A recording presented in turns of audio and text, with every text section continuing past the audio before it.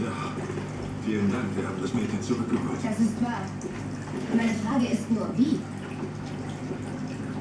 Ihre Frage müsste lauten, was wäre, wenn wir sie nicht gefunden hätten? Sie haben ihn also bedroht und ihm den Kopf untergetaucht? Ich werde Ihnen das ganz leicht machen. Was immer Lowell Ihnen erzählt, ich werde das Gegenteil behaupten. Ist das alles, was Sie sagen können?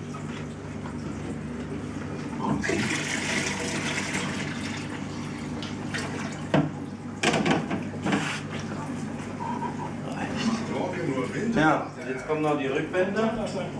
Die kann dann wieder ab.